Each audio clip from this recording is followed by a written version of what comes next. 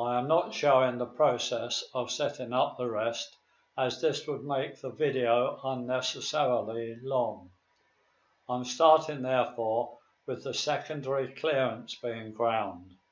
Following that with some detail how the four angles involved were arrived at.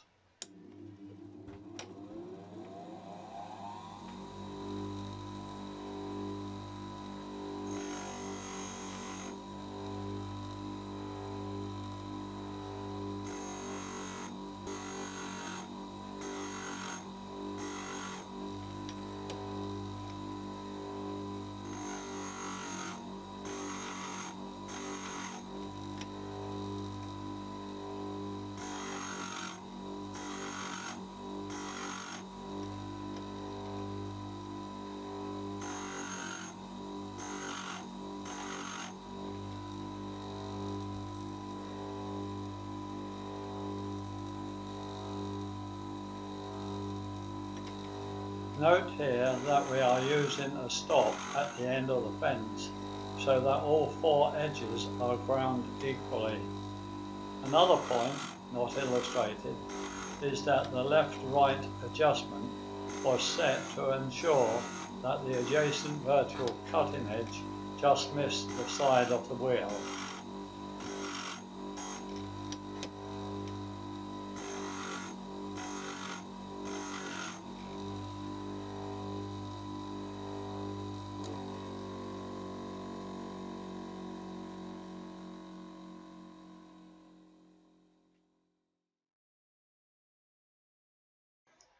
We start the settings showing how the cutter has to be positioned in the indexing block, that is, with the cutting edge being parallel to the base, this shown on the left illustration. Whilst not relevant to the sharpening taking place on this video, that on the right shows how an end mill should be set when grinding the side cutting edges, that is, with the two opposing tips being parallel to the base. Of course, sharpening the edges cannot be done just with an indexing block as used for the end edges in this video.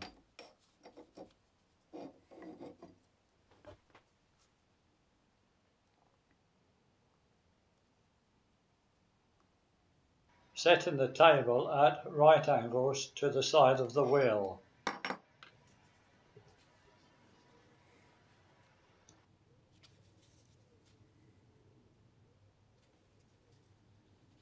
Setting the angle for grinding the secondary clearance. Note that the angle is achieved by a combination of the angle of the table and the curvature of the wheel. The card is marked red at the height that the end mill's cutting edge will be above the table. The angle of the table then being set so that this point contacts the wheel.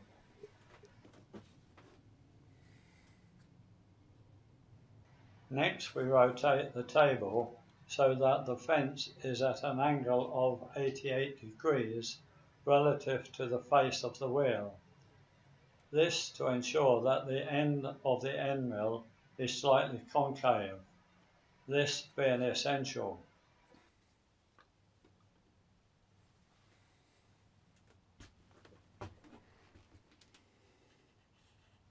Having shown how the rest was set for grinding the secondary clearance angle, there is no need to show how the primary clearance angle is set as it is basically the same, with just the clearance angle changing from 20 degrees to 5 degrees.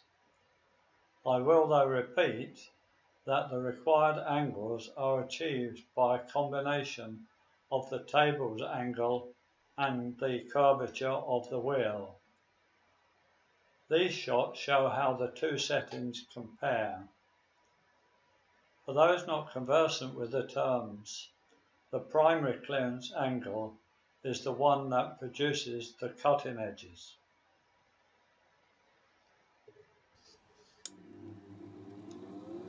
This now shows the primary angle being ground.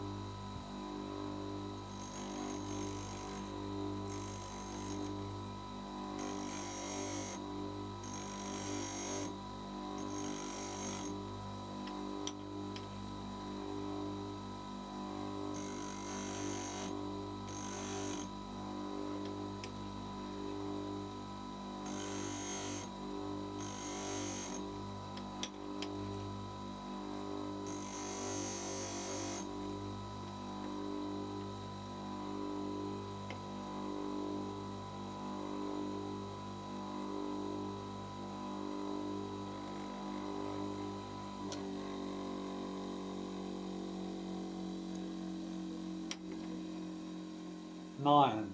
Let us now put the end mill to the test, surfacing a piece of mild steel.